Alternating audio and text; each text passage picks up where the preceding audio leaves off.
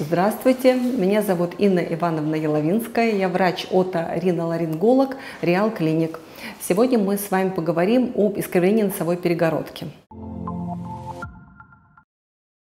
Искривление носовой перегородки – это часто встречающая патология у пациентов, потому что идеально ровной носовой перегородки нет ни у кого. В той или иной степени она искривлена у всех. Есть травматическое искривление носовой перегородки, там ситуация другая. Искривляется четырехугольный хрящ, и он может давать выраженные затруднения функции носового дыхания. Когда на искривленную часть носовой перегородки накладывается другие проблемы, связанные с носом в виде аллергического процесса, тогда это требует внимания и доктора, и пациента, и зачастую заканчивается это оперативным вмешательством. Искривление носовой перегородки еще мешает в ситуации, когда у пациента частые синуситы. Особенно это воспаляется, когда верхнечелюстные пазухи, лобные пазухи, и когда частые обострения мы не можем купировать, мы тоже пациенту рекомендуем оперативное вмешательство. Перегородка, она э, только оперируется, она консервативно не лечится. Вторую очень важную роль играет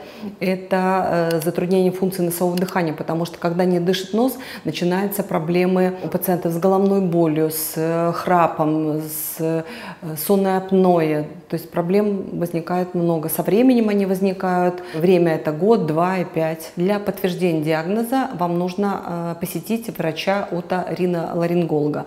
На осмотре доктор определяет искривление вашей носовой перегородки перегородки и показания к оперативному вмешательству. Сама операция требует подготовки, как обычная операция. Это весь скрининг госпитальной по крови. Обязательно при такой операции компьютерная томография пазух носа, чтобы доктор оценил состояние не только перегородки носа, но и пазух носа. Посещение терапевта, кардиограмма, стоматолог, э, кардиолог. Ну, весь предоперационный список пациент должен пройти. Операция проходит под наркозом. Уровень анестезии определяет врач-анестезиолог, который у нас есть в клинике. Название операции – это септопластика. Искривленная часть носового э, четырехугольного хряща, она отсепаровывается от слизистой э, и укладывается по средней линии, фиксируется тампонами. Через э, неделю у пациента полностью восстанавливается функция носового дыхания. Послеоперационный период длится буквально неделю. За неделю проходит отек, проходит образование корочек полости носа, функция носового дыхания восстанавливается.